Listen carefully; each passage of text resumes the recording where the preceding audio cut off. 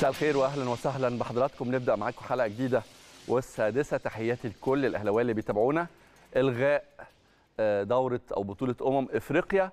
قد يكون القرار الأبرز في خلال ساعات أخيرة. طبعا مسؤول الاتحاد الإفريقي بيجتمعوا في الدوحة دلوقتي. كلهم هناك طبعا عشان يستعدوا لحضور السوبر الأفريقي. إن شاء الله اللي هيجمع بين الأهلي والرجه يوم الأربعاء اللي جاي والقرار محل دراسة. تسريبات بتقول إنه قد يكون بالتأجيل مش للصيف زي ما كان بيتقال لكن ل 2023 وده السيناريو الوارد. وقد يكون قرار بتقديم ميعاد أمم إفريقيا عشان نتفادى التصادم أو حالة التعارض مع السوبر. ساعات ويتم إعلان المصير آه، النهائي لبطولة أمم إفريقيا نسخة 2022 في الكاميرون. لأول مرة من فترة طويلة جدا بيجتمع عقد النادي الأهلي انضمام الدوليين علي معلول بدر بنون والدوليين اللي كانوا بيشاركوا طبعا مع منتخب مصر في بطولة آه، أمم آه، أو بطولة كأس العرب فيفا كأس العرب. وأعتقد طبعا إنه تمرين النهارده هيكون بشكل أساسي تمرينة كاملة ودي لقطات طبعا انضمام طبعا دخول علي معلول في معسكر ال- الفريق بعد طبعا ما لعب نهائي بطولة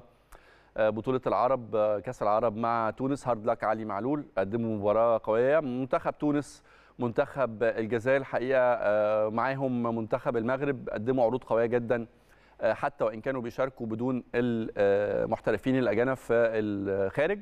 منتخبنا قدم عرض متوسط المستوى مركز رابع لا بأس به. طبعا زي ما قلنا واتكلمنا امبارح المصريين ما بيفرقش معاهم تاني من تالت آه، من رابع. ما دام ما وصلناش لمنصة تتويج كل المراكز تتساوى. كنا محتاجين بس أكتر نطمن على آه، ال- ال- المستوى الفرقة. وأعتقد إنه العروض اللي اتقدمت أعتقد إلى حد ما مرضية لكن لا ترقى بالتأكيد لطموحات الجماهير المصرية. وقد يكون آه، قرار تأجيل أو إلغاء بطولة أمم أفريقيا بيصب في مصلحة منتخب مصر بشكل أو بآخر في ظل طبعا الاختيارات اللي أعلن عنها النهارده مستر كارلوس كيروش وكالعادة الحقيقة آه، المدير الفني اللغز يعني لابد دايما إنه اختياراته يعني تصيب الجماهير بحالة آه، جدل آه، آه، أسماء استبعدت عليها علامات استفهام أسماء انضمت برضو عليها علامات استفهام.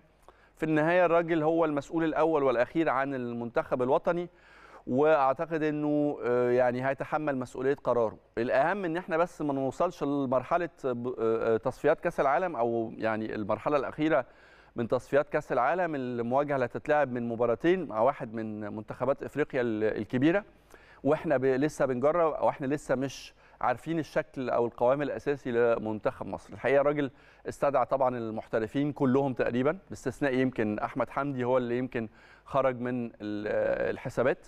وضم عدد من اللاعبين منهم طبعا عدد من لاعبين بيراميدز اللي كانوا مش موجودين مع المنتخب الوطني عشان مشاركة بيراميدز في الكونفدرالية. ما عدا ذلك تقريبا أغلب الوجوه اللي حضراتكم عارفينها وهنتناقش ونتكلم طبعا على آه، اختياراته النهارده في آه، ما يتعلق طبعا بقائمة منتخب مصر اللي هتشارك في بطولة أمم أفريقيا.